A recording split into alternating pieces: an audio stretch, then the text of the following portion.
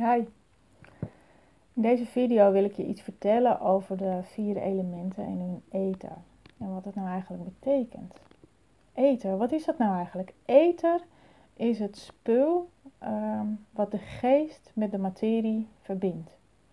Andere woorden voor ether zijn ehm, energie, odem, orgon, chi, prana, quintessentia, allemaal benamingen voor hetzelfde. Hetgene, het spul wat de geest met de materie verbindt.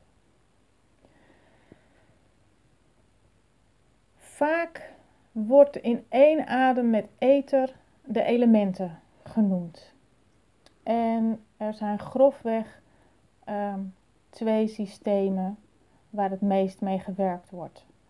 Ehm, in de westerse geomantie zijn dat eh, de vier elementen: aarde, water, vuur en lucht. Daar heb je vast wel eens van gehoord.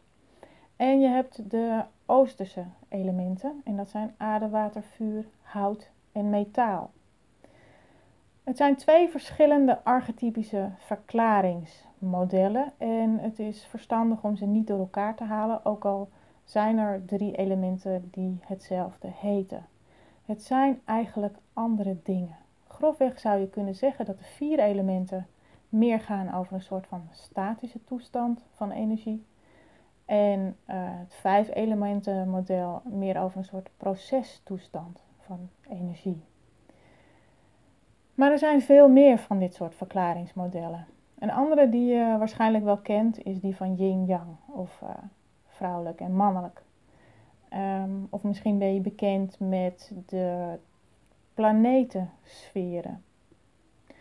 Het is belangrijk om te onthouden dat elke plek, elke persoon in elke situatie altijd alle kwaliteiten van uh, ether in zich heeft. En um, deze archetypes, die heb je eigenlijk alleen maar nodig om te kunnen verklaren, om te kunnen begrijpen um, welke eigenschappen uh, een specifieke omgeving of situatie triggert, versterkt of juist niet.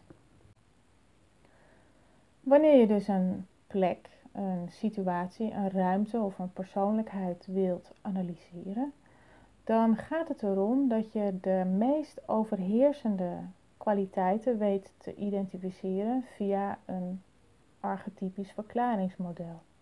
En dan moet je dus zorgen dat je weet uh, met welke kwaliteiten de elementen uit jouw verklaringsmodel geassocieerd worden.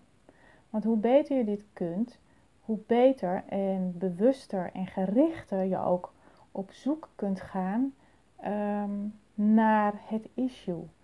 Uh, en op het moment dat je dat kunt, dan kun je het issue ook beter verhelpen.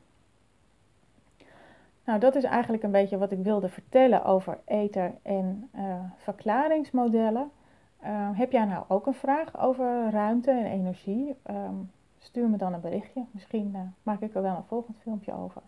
Tot de volgende keer.